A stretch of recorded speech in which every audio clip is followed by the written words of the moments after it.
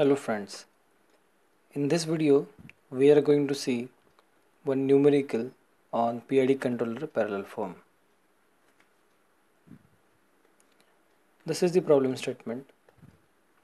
In this diagram, this is an error versus time graph. Based on this, we have to plot PID controller output with respect to time. Assumptions given that Kp we have to take 10 value of ki is 2 kd is 0.5 and p naught is 0 that is the controller output is 0 when the error is 0 this is the PID controller which is parallel form. So for this controller signal that is u is written like this. This is the equation for parallel form only. For series form there is a different equation so kindly note this equation for parallel form. So let's see how to solve this numerical. For easy understanding the, that same image is kept here so that you can understand better and this is the equation for parallel form and these values are uh, given in the numerical statement so uh, first of all as far as the error plot is given so we can see here from 0 to 1 uh, in a slope and curve changing. This line is this output is changing in a slope from 0 to 1 at 0 it is error is 0 at 1 error is 1 percent. From 1 to 3 when time is 1 to 3 second the error plot is constant which is at 1 it is 1 at 3 it is again 1 and from 3 to 4 at time 3 you will find that the error drop down to 0 and beyond 0 beyond 3 it becomes a 0 so let's see for all the time plots uh, what are the value of u that let's see.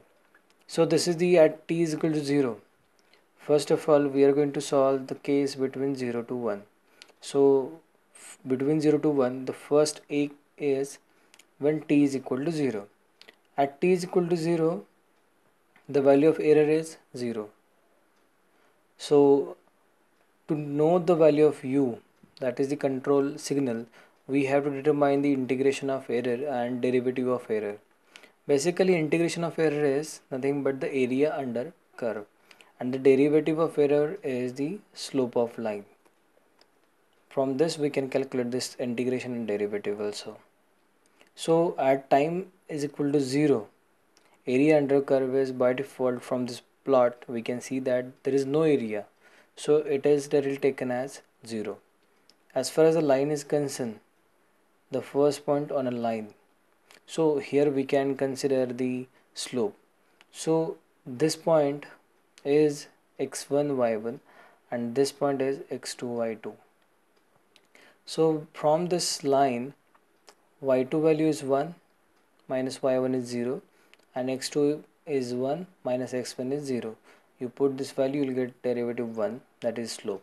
If you put this integration value derivative value and this givens in the equation of u you will get the value of u is 0.5 for uh, the same time between 0 to 1 now the time is 1 for t is equal to 1 what is the change error is 1% EP is 1% and derivative as we have already calculated here that is the 1% so we have written directly here. Now the thing is we have to know what is what is the change in the integration. So integration we have to calculate. So at t is equal to 1 means this point.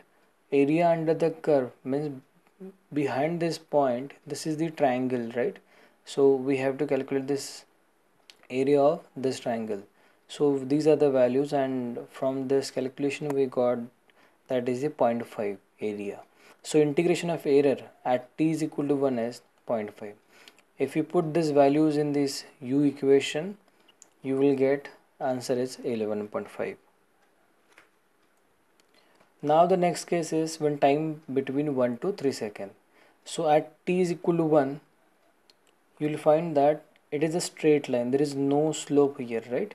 So the straight line which is horizontal so slope by default that is 0 so we are taking der derivative of this error is 0 and whereas integration so at t is equal to 1 the same area will be considered. That is it that is a triangle only.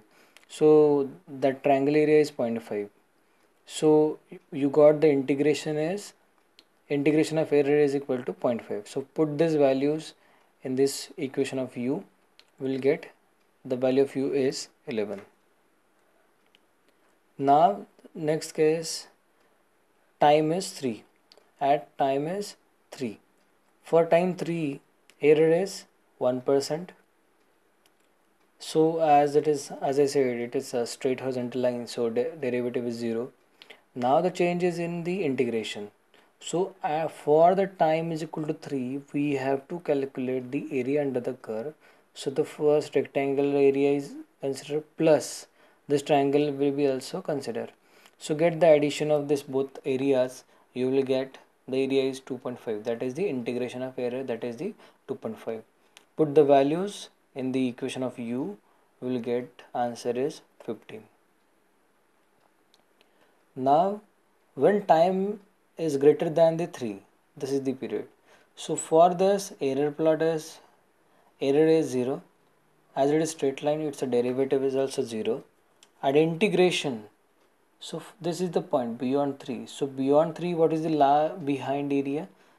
We have already calculated this is the 2.5 so we are taking 2.5 here. So put this value in the equation. You will get the value of u is 5.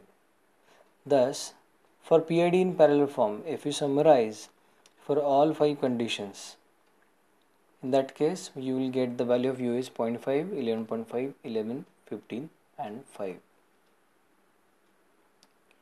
So with this uh, we have seen uh, how to solve the PID controller for parallel form. Now if you want to sketch sketch you can use a graph on which t values can be mentioned on the x-axis and on the y u and plot the graph accordingly. Thanks for watching. If you like this video subscribe my channel. And if you have any queries or if you want some more videos more technical videos in the field of mechatronics you can write in a comment box. Thank you